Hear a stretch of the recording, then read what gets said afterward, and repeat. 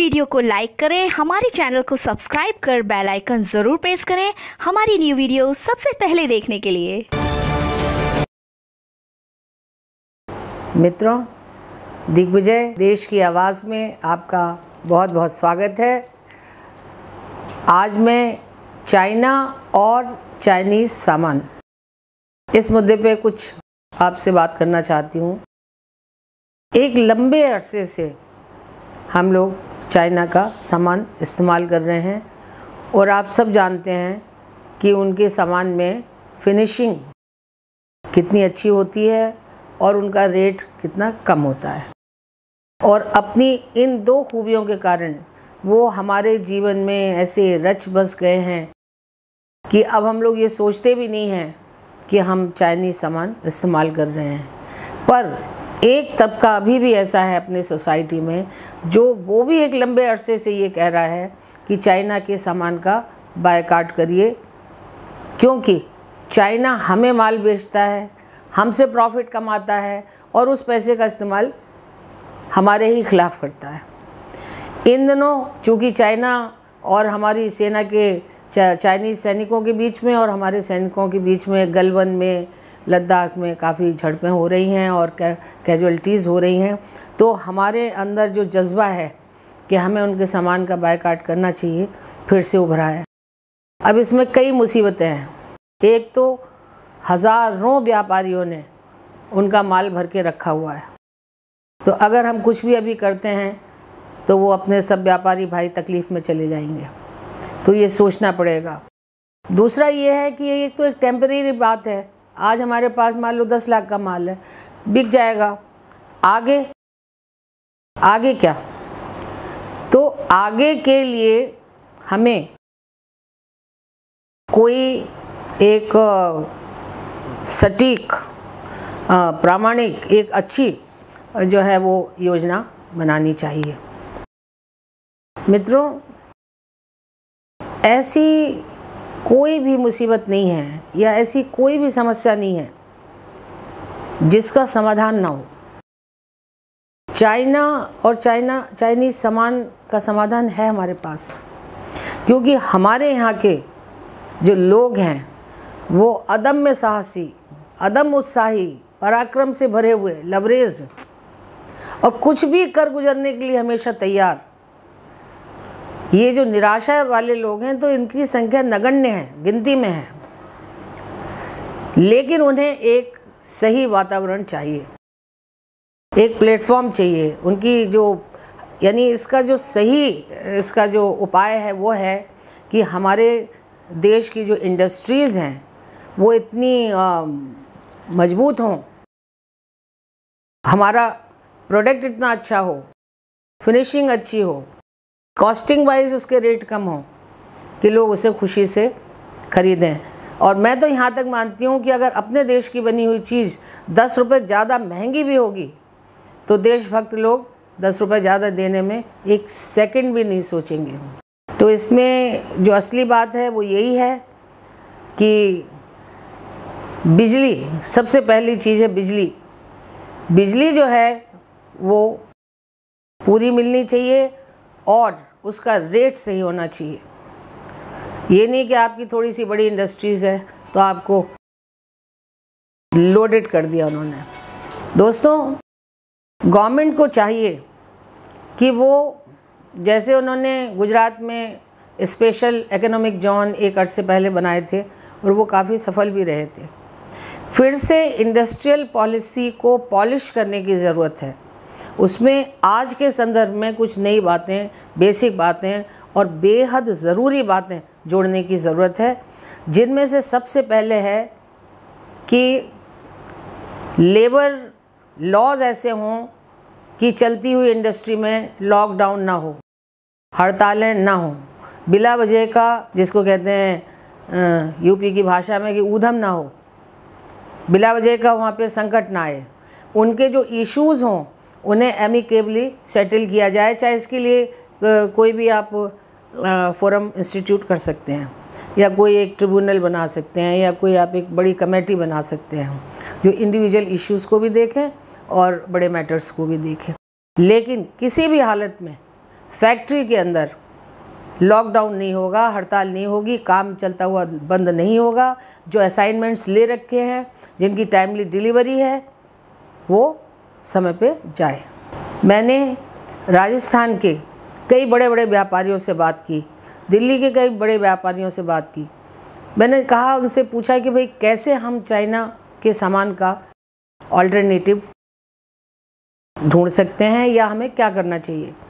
तो उन सब की एक स्वर में एक ही राय थी कि हमारे टैक्सेस प्रॉपरली बनाए जाएँ, जिससे कि हमें चोरी नहीं करनी पड़े, हमको टेंशन नहीं हो। आप चाहें तो हमारे खर्चे पर टैक्स लगा सकते हैं, बजाय आप दुनिया भर के लगा रहे हैं, छत्तीस टैक्स लगा रहे हैं, आप इन्हें छोटा कर सकते हैं। हम जितना खर्च करें उस पर टैक्स ले लीजिए। अब आपने छत्तीस तरह के टैक्स हैं जीएसटी से लोगों का बीपी वैसे हाई हो गया है। चाहे बेशक आप रिटर्न कर रहे हो, पर आप में मैन पावर तो इसमें इन्वॉल्व है ना? पहले हम जमा करेंगे, फिर आप उसे वापस करोगे, कुछ छूट जाएँगे, किसी को दे दोगे, किसी का रह जाएगा, कोई यूँ ही घूमता रहेगा। अपने पैसे के लिए तड़फता हुआ। इतनी नाटकबाजी क्यों है? गवर्नमेंट सिंप्लीफाई क्यों नहीं कर सकती इसे? जिसमें जो हमारे देश के लोग, जो अधिकतर लोग कम पढ़े लिखे हैं, सारे नहीं क्वालिफाइड हैं। सारे नहीं आईएएस हैं, सारे नहीं पीसीएस हैं, सारे नहीं डॉक्टर्स हैं, सारे नहीं सीएस हैं सीए हैं, सारे नहीं प्रोफेसर्स हैं। बहुत सारे लोग ऐसे हैं जिनको घर की आर्थिक स्थिति के कारण बचपन से ही काम करना पड़ता है, नहीं ज़्यादा पढ़ पाते हैं। लेकिन किताबी ज्ञान नहीं होता है, लेकिन दुनियादारी का ज्ञान, काम का ज्ञान और समझ, बूझ उनकी काफ़ी होती है। सारी जगह आपने कि सब काम इंटरनेट से होगा। अभी आप सर्वे करा लीजिए। एक हज़ार आदमी आपको ये कहेगा, बैंक में जाने पे कि साहब नेट नहीं चल रहा है। खड़े रहिए आप। आपको इमरजेंसी में कुछ ट्रांसफ़र करना आपका होगा नहीं। जब आपका हर जगह नेट सुविधा अच्छी नहीं है, हर जगह कंप्यूटर नहीं है तो इतनी जल्दी क्या थी? पैरेलल भी तो सेटअप रखते कि कुछ काम हाथ से भी होता। जो पहले अंगूठा लगता तब लगा रहे हो ना अंगूठा हर जगह। तो क्या एकदम हर चीज़ राइट ऑफ़ करने की ज़रूरत थी? तो गवर्नमेंट समझती है कि हम सरकार हैं, हम सत्ता हैं, हम शक्तिशाली हैं, हम किसी को भी मार सकते हैं, हम किसी के साथ भी कुछ कर सकते हैं। ठीक है, हर राजा ये समझता है कि मैं प्रजा के साथ कुछ भी कर सकता हूँ। लेकिन क्या प्रजा आपका सम्मान करेगी? आपकी इन, इस तरह की जो आपकी कार्यशैली है उसके लिए? शायद नहीं। और हर एक को एक वक्त मिलता है। उस वक्त का वो कितना अच्छा उपयोग कर सकता है? कितने सालों तक, वर्षों तक, सदियों तक वो लोगों के दिलों में राज कर सकता है, उसका भी मौका होता है। इतिहास में वो कौन सी जगह अपनी सुरक्षित कर, करना चाहता, उस, उसका भी समय होता है। ऐसे नहीं होता कि हम राजा हैं तो हम कुछ भी करेंगे।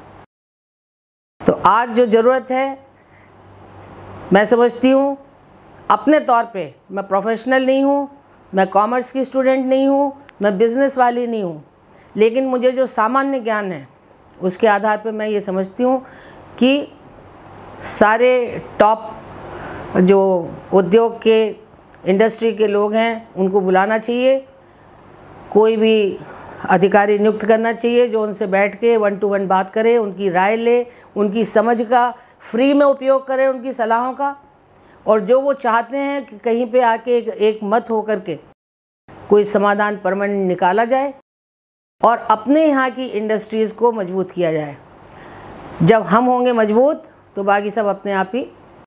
तो इसका एकमात्र उपाय यही है कि नए परिप्रेक्ष्य में अपने देश की गिरती हुई इकनॉमी को ठीक करने के लिए, अपने यहाँ की बढ़ती बेरोज़गारी को ठीक करने के लिए, लोगों के दिलों में जो सनसनाहट, बेचैनी, घबराहट कोई देखने वाला है? कोई देख रहा है लोग किस तरह से तड़फ रहे हैं? अपने आज के लिए, अपने कल के लिए, अपने बच्चों के लिए, अपने बुढ़ापे के लिए, अपने भविष्य के लिए। जितने भी बूढ़े लोग हैं सीनियर सिटीजन हैं, वो चिल्ला रहे हैं कि साहब, मेरा, मुझे इतना रुपया मिलता था, हमारे सेविंग्स पे अब इतना मिल रहा ये जो बचा हुआ आठ हज़ार, दस हज़ार रुपये कम हो रहा है तो मैं क्या दवाई नहीं खाऊं? या दाल चावल कम कर दूँ? या मैं भीख मांगने के लिए बैठ जाऊँ कहीं पे? तो लोगों की समस्याओं से अगर आप समझते हैं तो मुँह मत मत फेरिए।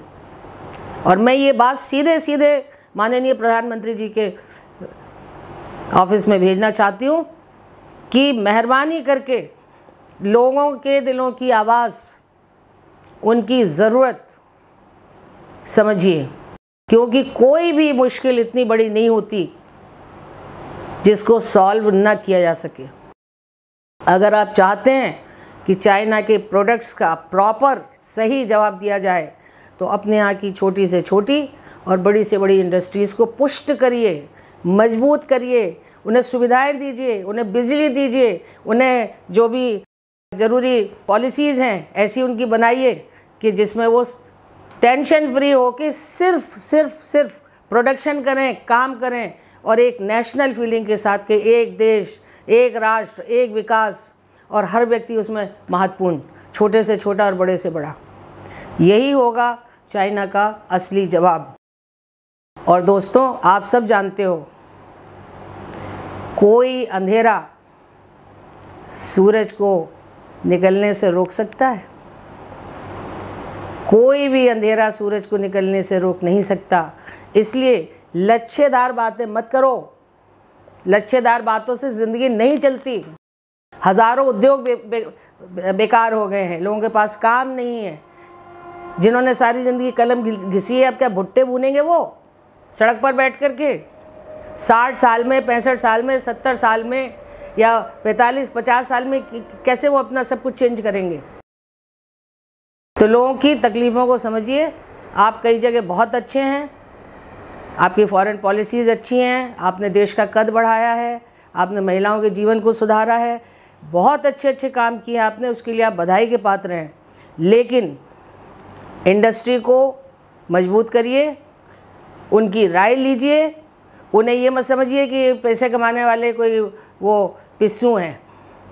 ये मज़दूरों के ख़िलाफ़ काम करते हैं। नहीं, एक एक सेठ दो से लेके और कई सौ लोगों तक रोज़गार देता है और उन सब का हेडिंग यहाँ रखता है। और वो किसी कॉस्ट पे होता है। वो कॉस्ट होती है उसके अपने घर का समय, उसके अपने बच्चों का समय, उसके अपने पेरेंट्स का समय, उसका खुद का समय, उसमें से निकाल के वो लोगों के लिए लगाता है। तो आज के लिए दोस्तों बस इतना। मिलते हैं फिर एक, नए विषय के साथ। तब तक के लिए कैमरामैन सुनील गौतम के साथ मधु श्रीवास्तव का नमस्कार।